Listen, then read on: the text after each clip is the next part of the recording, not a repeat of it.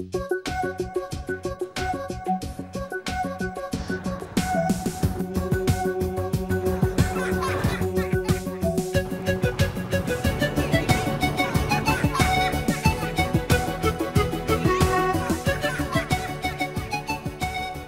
Luke Nguyen, a Vietnamese Australian chef in a very beautiful but remote part of Vietnam. I'm here to meet the local people, try their delicious food and learn how they cook it. I'm really looking forward to seeing a very small part of what Australia has been doing to support the Vietnamese people and improve their livelihoods. Now I'm on my way to a small village called Tong Khao, which is home to the Thai ethnic minority group.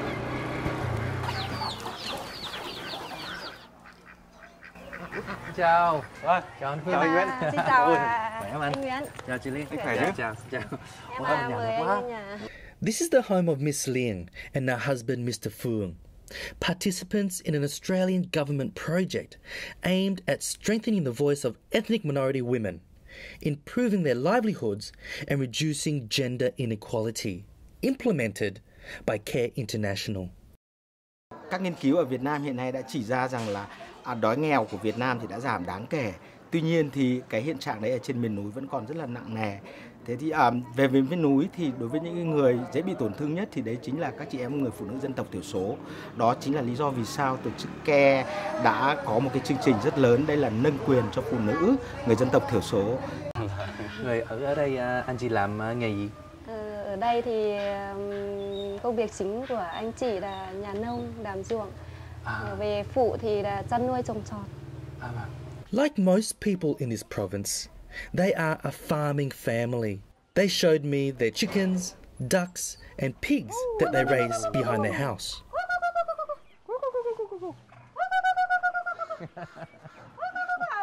Thì mấy con vịt? Vịt thì ờ, hai chục con. Anh có mấy con lợn? Có chuồng này sáu. And I love how um, you know the, the work is distributed. You know, Chị Liên feeds the chickens and the ducks. Phương feeds the pigs. It's a really, it's a real husband and wife job.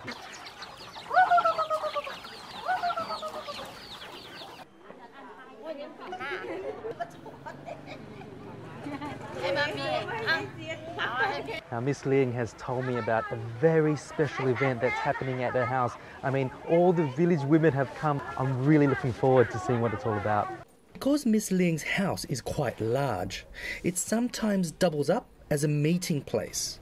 But what's special about this community meeting is that all the participants are women. Đừng giờ Hồ Chí Minh Đừng giờ Hồ Chí Minh Chào tất cả chị em à, Hôm nay là ngày chúng ta đã đến buổi sinh hoạt thường kỳ I feel very fortunate and lucky to be able to be here in the northern mountains in this um, ethnic village to, to experience this.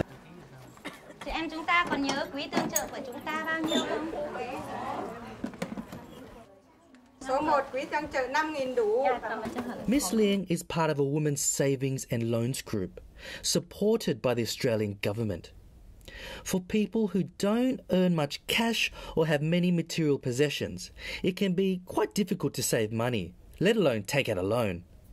Here, each woman makes a contribution to a savings fund for use if someone is sick or injured, and a credit fund which women can borrow money from. Everyone decides together as a group who gets that loan, and that loan is used to buy crops, it's used for farming, or even start a new business. I'm really glad I got to experience that. I was really impressed in how organised it was. Um, how professional it was as well. And now I'm really interested to see how much the ladies can borrow and um, and what they use that money for. Chị Liên, cái uh, chị nào mình mượn tiền á, mình mượn khoảng bao nhiêu được một lần? Mỗi một ờ, quý thì ờ, là 5 triệu 5 triệu. Wow, cũng nhiều á. À, rồi cái 5 triệu mình xài cho cái gì chị? để ừm, chăn nuôi hoặc trồng trọt, À vâng. mua cám ờ, chăn nuôi. À. Thứ hai là phân bón để ờ, trồng trọt ờ, khoai. Bây giờ hả? Bây giờ mình đi xem đi xem được không? Ok, anh. này. Now I'm off to the fields with Jillian. She's going to show me all the different types of crops. Trước kia thì ừm, đất ờ, chị trồng lúa một vụ, Yeah. chưa có dự án, bây giờ có dự án rồi chị à, trồng khoai. Rồi chị Liên, chị Liên mượn khoảng bao nhiêu tiền để à, trồng mấy cái cây này? Ừm, trên là 2.000 mét vuông thì chị mượn 2 triệu thì đầu tư trồng khoai. Wow, dạ. Chị à, mua đạm đơn kali à, một vụ khoai của chị trên. 2.000 mét thì chị sẽ thu được à, 12 triệu. It's great to see what these women have been able to achieve thanks to this credit group, which has allowed them to save and borrow money to buy better seedlings and fertilizers for their crops. Now it's two crops per year rice and sweet potato. I think it's fantastic and sustainable. Now, this is my biggest inspiration coming to remote areas like this in the northern mountains of Vietnam and seeing what they're cooking, what produce they're using, and learning so much from the local people. Now, it seems like they love all of their roots and all their aromats. There's lots of galangal there, lots of lemongrass and fresh herbs. So I thought I'm going to make a dish for them because they're cooking such an amazing menu there. Now, I have Dang here from KOTO. You're going to help me, yeah? Yes, of Yeah. Um, I'm using all the fresh herbs, right? Vietnamese cuisine is all about freshness, isn't it? Fresh rau ram, we've got some lemon leaves, I've got dill, I've got coriander, lemongrass, anything that's been inspired from what I've seen today. So, can you help me with this one? Can you just please pound um, the turmeric, the galangal, the lemongrass, and the garlic all together? I want to make a really nice paste, okay? Jiao, jiao. I'm going to throw in some spring onion. Cái này là món ờ, hơi lạ nha. Thì cái này là món em lấy cá, em bằm ờ, riềng, ờ, nghệ, tỏi, xả, ha, nhiều gia vị. Em cuốn lá chuối, rồi em hấp.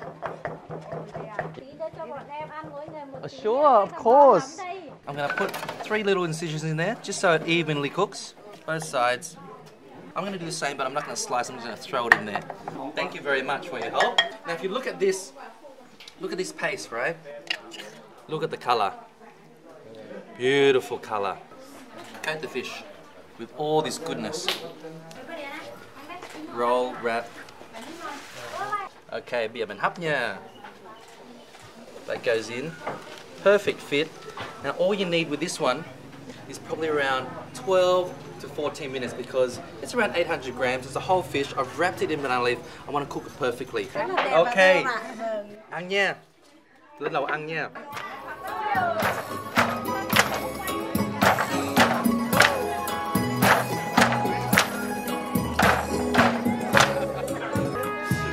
such a fantastic time here in Dien Bien. I mean, the landscape is so stunning. The people are extremely friendly, and I've been really impressed with the economic growth of the local Thai ladies here. I mean, their empowerment has been absolutely fascinating. I've tried incredible food made by all the gorgeous fresh produce of the land here. Everything's grown locally. Now my next stop is Lao Cai, another province in the northern mountains of Vietnam, where I'm gonna visit another project that's supported by the Australian government. I'm having such an awesome time.